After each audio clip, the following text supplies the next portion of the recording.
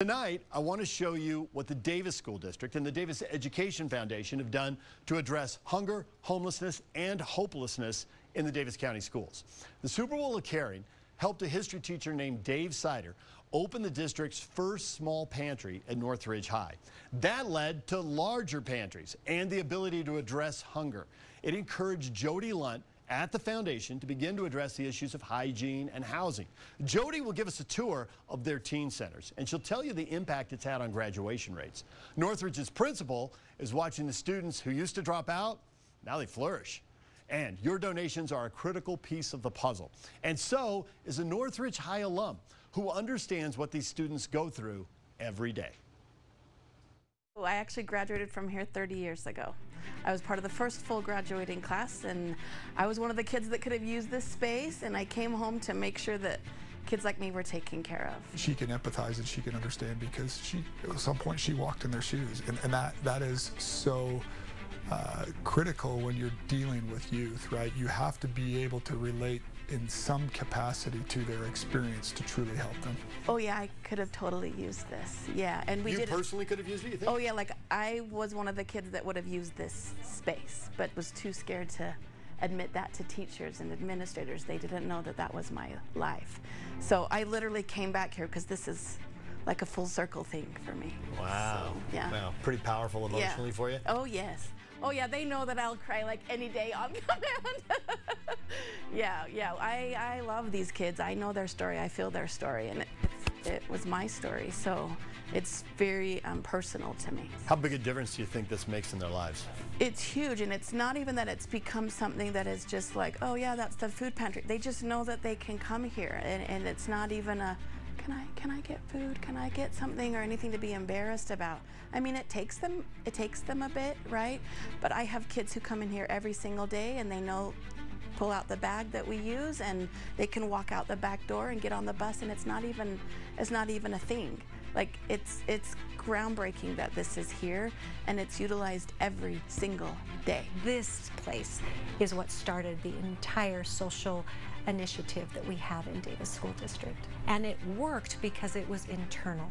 It started because a teacher, Dave Sider, came to the foundation and said, I need a food pantry. Our kids need this. We're struggling with food insecurity. And because it was a within community event, it grew from a closet that we had down the hallway to a full-blown community pantry. For so you knew Dave Sider? Yes, as a teacher, he was the history teacher that everybody wanted. But yes. that was before he started the pantry? That was before he started the pantry. They started that in 2017, and I wasn't here yet. I was working at a Title I elementary school, and it was huge news when they when they did that, and it was kind of groundbreaking to put it in the school, and so needed. Here, Northridge was the place to do it. Well, welcome to the Northridge High School Teen Center. We're excited to have you as our guest here today. When did you open this? This opened in August of 22, and since then we have seven operational centers two more that are being built and will be opened this year, and then two next year. There is a great reception area where they are greeted and their needs are assessed. And depending on what they need, whether it is food, clothing, uh, hygiene essentials, study needs, they are then directed to the different portions of the center. We always have in each one of our centers a place for young people to uh, be able to get their food needs met.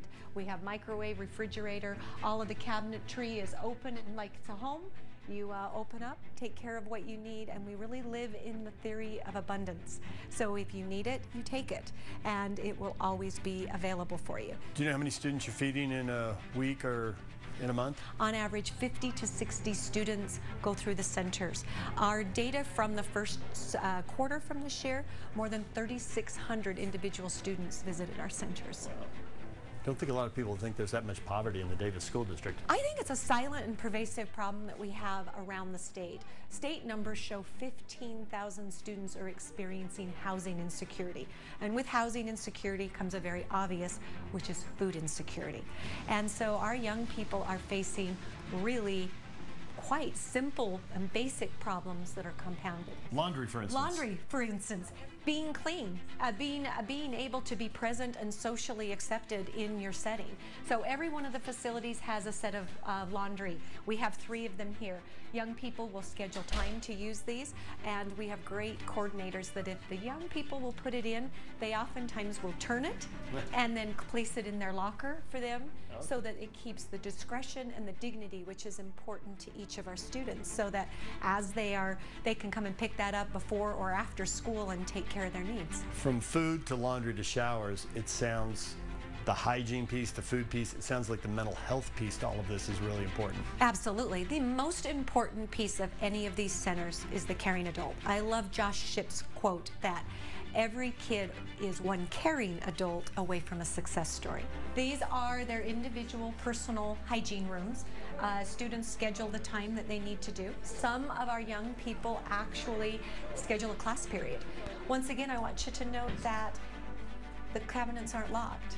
Mm-hmm. And we live in abundance, just as your bathroom is. Whatever shampoo that you might need, what, whatever hygiene needs you need, you open, you take, you use, and you have the confidence to know that when you come tomorrow, it'll be there again.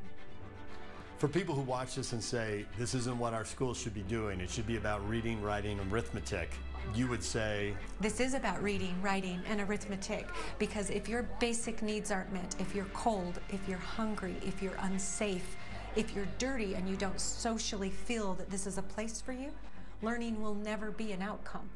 If we want to maximize these students and they are resilient and brilliant, the most important thing we do is we ensure, just as we do with our own children, that they are safe, clean, fed, and we say in, in Davis School District, ready to put learning first. if a student's basic needs are not being met uh, food shelter sleeping warmth it's pretty impossible to ask them to write their paper in english class right to uh, to get here on time to be successful so there, there's this direct correlation that we've seen students' success rise when their basic needs are being met. And we, we've had some amazing stories of their needs get met, they start to succeed, all of a sudden they're interested in college. We help them fill out college applications, and uh, I just get excited talking about it. Uh, and, and they come in and they get accepted to, you know, to one of our local universities, and it would have never happened without this center and the people involved in it. I'd love to thank the, thank the community uh, for making it happen here, thank the communities and those that have donated to make it happen through Davis District. Uh, we've had a lot of visitors throughout the state, different districts, to look at this. I know I know the legislature is, you know has been looking at ways to to make it uh, possible and fund it. And I would just I would just say, in any way that we can have every school have a place like this, it's it's a big deal. If we care about our kids and our kids' success, uh, every school needs a place like this. a remarkable 10 years in the Davis School District from no pantries to teen centers complete with laundry, shower facilities, and expanded pantries.